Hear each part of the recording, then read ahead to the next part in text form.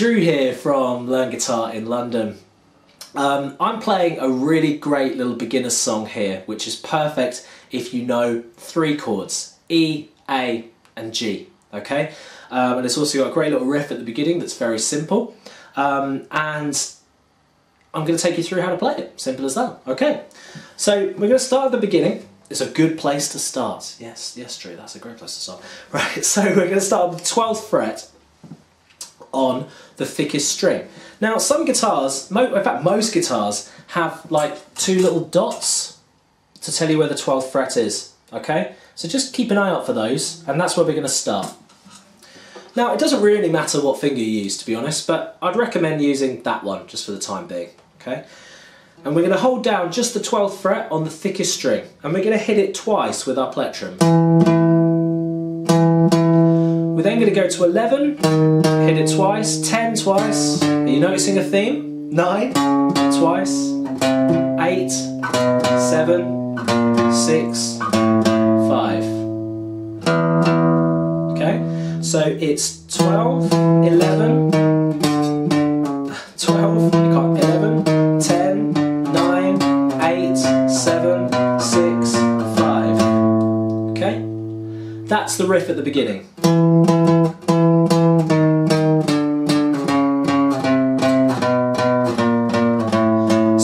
Reasonably simple, right? You can just press down the strings and you just look to see where you need to change chords and you just go from 12 to 5 doing two hits for each, okay? We're then going to go to an E chord. Okay, this is what an E chord looks like, just a little reminder. Index on the first fret on the G, middle on the second fret on the A, and ring on the second fret underneath on the D. And for that chord we strum all six. And we're going to go now, the rhythm. This is the slightly more challenging part, okay? So the rhythm, I'm going to take it nice and slow. It's down, down, up, down, up, down, up, down, down, up, down, up, down, up, down, down, up, down, up, down. Okay? One, two, and three, and four, and one, two, and three, and four. Now when you do an upstroke, just make sure it's the same speed as a downstroke. Flick your wrist, don't use your arm okay? Keep everything as relaxed as possible. Now, I need to talk about um, a bar. So one bar of music in this particular song is this. So that's just one pass of one, two, and three, and four rounds.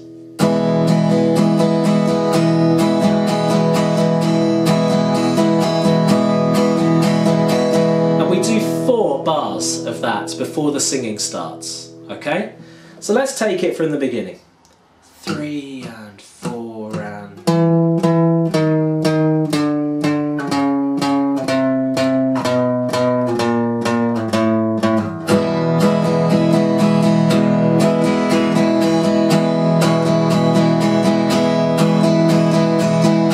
Okay, then the singing starts. So, we go for E,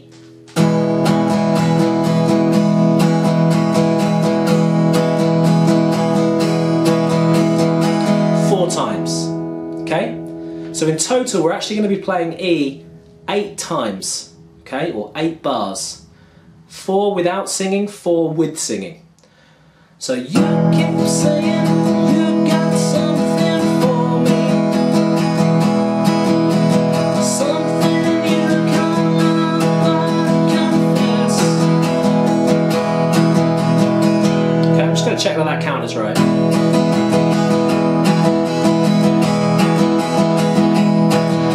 My mistake. It's actually eight times. Sorry about that. It's eight, four at the beginning, then eight of E. We're then going to go to an A for the You've Been Messing. Very easy change, okay? Move these fingers down to the D and G and tuck your little finger underneath on the B. Okay, so they're all stuck in the second fret there. Four of A. A, we strum the bottom five. You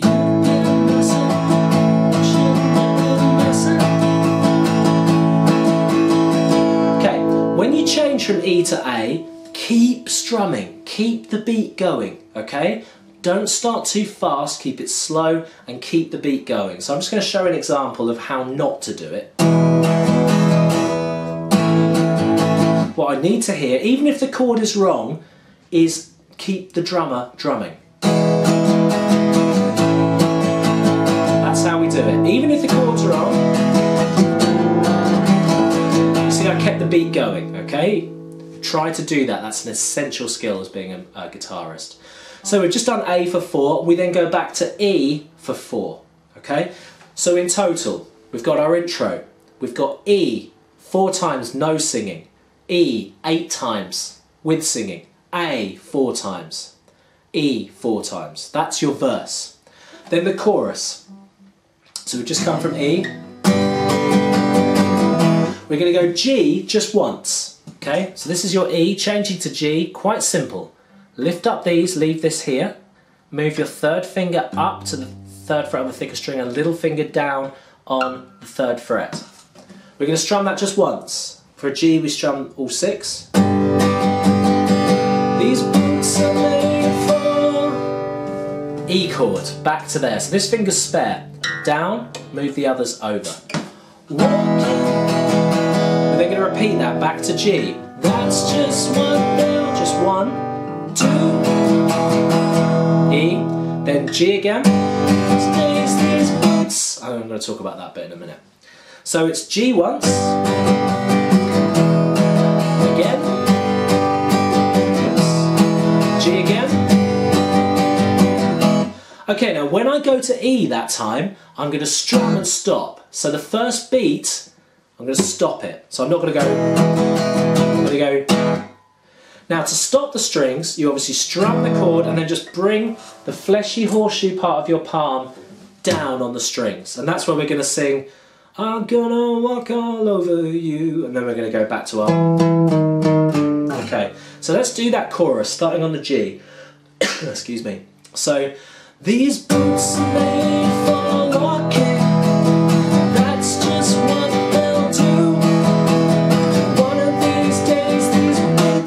gonna walk all over you. And then we start doing the intro again. Back to back to four E's without singing, eight E's, etc. with the verses. So that's these boots are made for walking. You can just easily play that along. It goes intro, verse, chorus, um, and then the intro again, verse, chorus, and then intro, verse, chorus. So it's really, really, really simple, just repeated rounds. Um, perfect if you're a beginner. I really hope you've enjoyed the lesson. Keep on playing. See you soon. Bye.